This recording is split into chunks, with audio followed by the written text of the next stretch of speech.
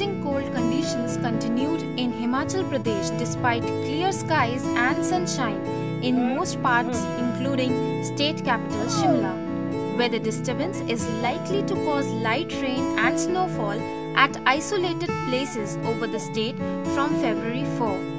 Indian Meteorological Department stated that the intensity and spread of disturbance may increase in the state from February 5 to February 8.